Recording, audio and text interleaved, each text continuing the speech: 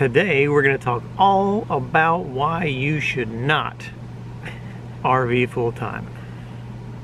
That sounds like a weird topic Yeah. because we do full time, and Yeah. so we're not telling you to not RV full time. We're just saying if some of these things apply to you, you might want to rethink your plans Yes. to RV full time.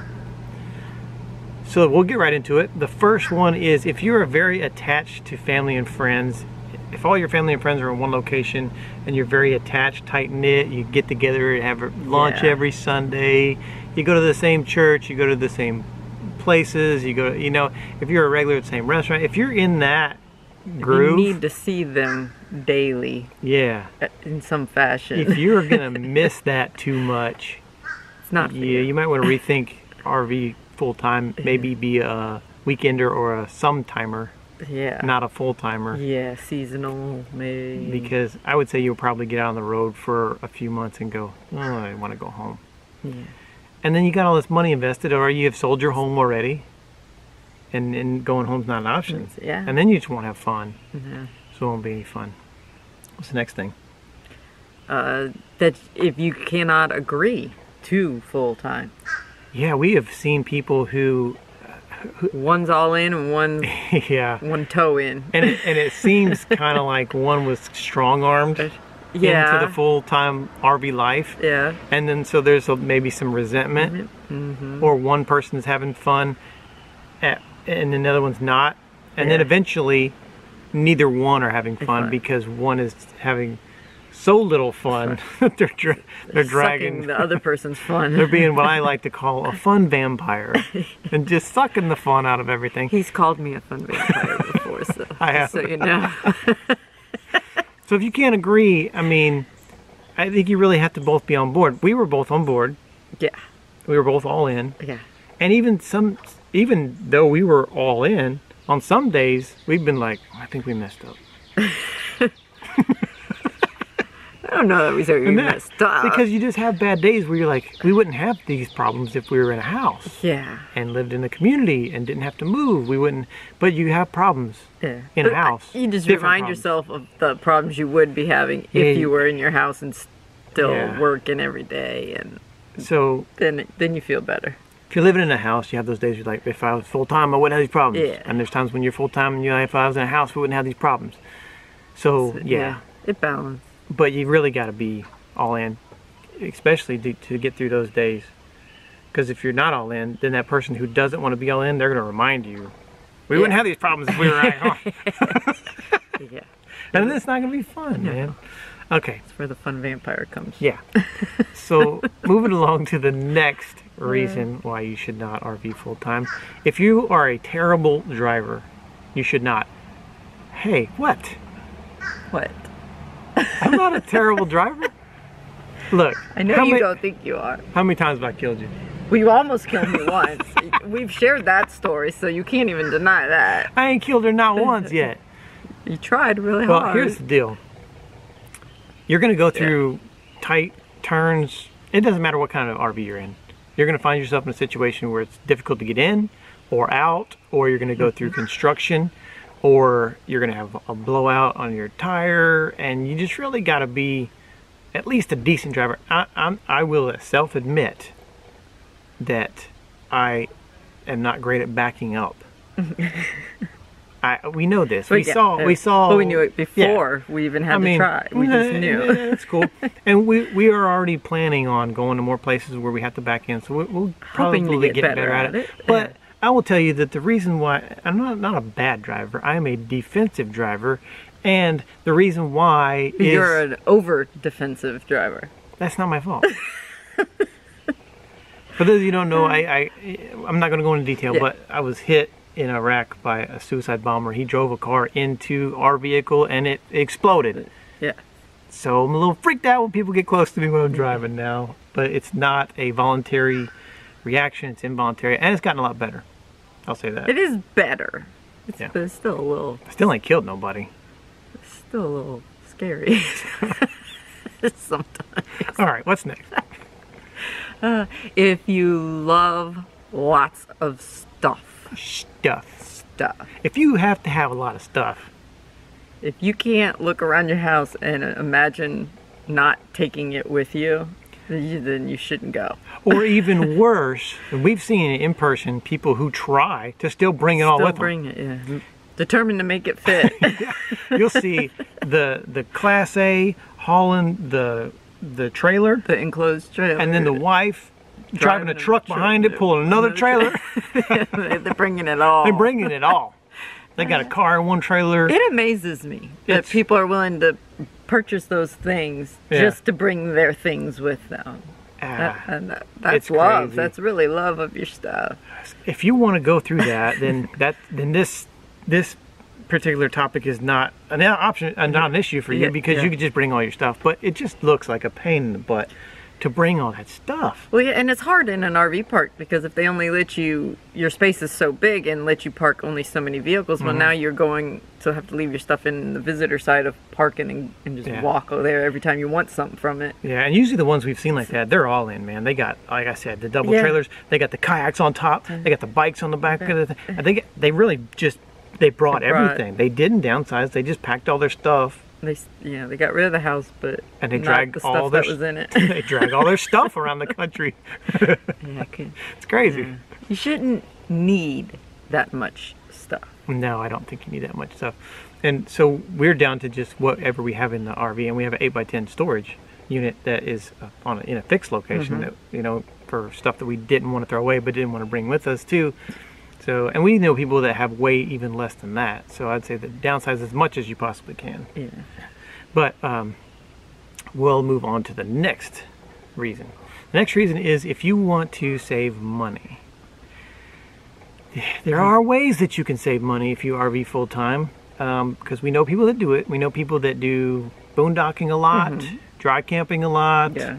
Um, people that work camp, that gate guard. Yeah. Um, there's a bunch of ways that you can save money, but if you're looking to just go out onto the road and maintain the lifestyle that you had, like we like to eat out a lot, we like to travel, we like to explore different places, we have to pay for uh, admissions, fees, so yeah. Mm-hmm. all that stuff.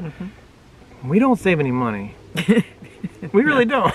No. We really don't save money, and then the money we make on on YouTube and other social media, we give some of that away to veterans, and then the rest of that goes toward maintaining the channel. We're still partially uh, responsible for our child, so we're totally not saving money. Don't even get me she doesn't on- save us money at all. Yeah, so for uh, you, so we're not saying that you can't, but if no, you can be thrifty yeah and, and smart on how you use your money. yeah, but I would say if if But I whole wouldn't call it a money saving option is to live in an RV. no, I would say if your whole purpose is to save money, it's Yeah. not probably going to happen. What's the next one? It's not our problem. No, No, it's not. as you can clearly see. no, it's not our problem. No, it's not. If you can't get along with each other. Yeah, and some of you are finding out right now. Yeah. They're in this whole situation. CV19 has tested a lot of people, I'm sure, as to whether they could Yeah. live in a small space I'm with their sure significant other. that there are some out there who were planning to be full-time RVers and have now gone through this process with the virus and are now like Coming up with a new plan. we're not doing it because I can't be around you that Yeah. long, that much time. We worked together for several years in the same departments, the same clinics, the same hospitals. So we, we went to work together, Four- worked together all day, We worked together. came home together. So we are used to being around each other Yeah. a lot, and so really transitioning from from our lifestyle to to the RV is really not any different. We still spend all day together. And our our our extracurricular activities were s- same as well because we both like to fish. I didn't hunt, Yeah. so I never went hunting with you. But we both like fishing. We both rode our own motorcycles Mm-hmm. and hung out with that group of people. So our our likes were similar outside of professional. yeah, so we just spent A lot of all time. the time together, and so it. Not that you have to do that. No. There are ways when you full time RV that you can have your own space Yes. as long as you're not going through current So, situation. yeah. Um, you could go, you know, have lunch by yourself, or if you have, uh, you know, outdoor space with like some entertainment. You can go outside, read a book, whatever. Mm-hmm. You can create that separation and create your own personal space and time, which we still do from time to time. But um, but really, you're going to spend ninety percent of your time together. So if you can't Yeah. get along, you might want to rethink the Yeah. full time RV life. Um, the next one we're going to talk about, which we've experienced more recently than we have ever, Yeah. Is if you are scared of storms, pass on the RV life because storms are even just a regular storm that is not Yeah. really scary in a in a house is amplified in an RV. Yeah. Uh, the wind rocks you more. It's louder. The yeah the, the louder the sound just because rain. the walls are, are thinner, the, Yeah. the ceiling's thinner, so you hear the raindrops sound a lot bigger. Anything thunder, lightning sounds Yeah. a lot louder, a lot closer than it you know than it did when you were in a house. Yeah, 'cause you don't have the well insulated walls Yeah. and windows and stuff. And so, and I'll say that too. If you have kids that are, if you're full time with kids Yeah. and they're scared of storms, it's going to be even worse Wor- on the road. if you have pets who are scared, it's going to be even worse, Worse, on the road. Um, some vets don't do well with with, with storms and loud noises. Mm-hmm. So if, if that's you, um, I mean that's a, that's something you really should take into consideration. Mm-hmm. And then when the storms get really bad, when you get like watches and warnings for tornadoes and stuff, you Yeah. have to have a plan. So you've you saw in our one of our recent videos about tornadoes. If it's going to be in the middle of the night, you have to have a plan to to, Mm-hmm. to get out and go to a structure somewhere. Because during the day you can kind of track it, and you probably don't need to go to a hotel or or someone's house or a shelter. But if it's going to be in the middle of the night, you really have to have a, a plan, and the plan cannot be to stay in your RV. It's just not safe. There's no safe place in an RV. No. We already talked about that. Um, okay, cool. What's next? If you're already living paycheck to paycheck, Yeah, if you are crunched, probably shouldn't do this. if you're crunched for money, do not do it. Don't risk it. Um, there is already risk. Even if you have money and you have savings and you have a plan and you have reliable income, it's Yeah. still risky. It is risky. It is still risky, and you have to take the to risk if you want to live this lifestyle. Mm-hmm. But if you are danger close on paying your bills, or if you have debt and you are living paycheck to paycheck, you are one incident away from not having a plan. Yeah. If something happens to your rig, uh, something happens to your tow vehicle, something happens to your health. Yeah. Um, I mean, we just replaced uh, tires in the truck. That's thirteen hundred bucks. Mm-hmm. Um, if your warranty is not uh, still valid on your RV, you have to pay for any kind of repairs that you have. That RV has to go into a shop. You have to stay at a hotel. There's just so many things that could take you off the road, and it doesn't take much because it's all expensive. yeah. And so you have to have a plan. You have to have some kind of a savings. You have to have some kind of a backup, or you have to have some kind of a, a family member that t- to say, hey, if I if if it ain't gonna work, can I come hang out with you until I get it figured out? Can get back out. Yeah. But I'd say if you're close, it's just gonna it's just gonna add stress to your lifestyle. You're not gonna enjoy it. You're not gonna be able to go out and, and enjoy and explore everything that you want to explore. If being more financially stable requires you to not hit the road for a couple more months or a couple more years, yeah, then you, so be it. you should wait. Because it, it'll be worth it. and I and I know the feeling. We know the feeling of wanting to get out there and Mm-hmm. Just like y- you want to go now, and I get it. But if you if you have to build up or get rid of some debt or get a cushion, a nest egg, Mm-hmm. you should have that. You you can't you can't risk it, especially if you have kids or a family that you're taking down the road with you. It affects everybody. Don't risk it. It's not worth it. Um, and some people will tell you, hey, go for it, do it, whatever what makes you happy, do it now as quick as you can, however you can do it. Uh, that's just, in my opinion, not good advice. So be smart about it. Um, the RV lifestyle is great, but it's, it won't be fun if you don't do it right. Yeah. Comes with its own set of issues. Yeah. So you just have to be mentally prepared for that. Yeah. The last tip is, and this wasn't on the list eventually, or with it, this wasn't on the list initially. It's on the list now.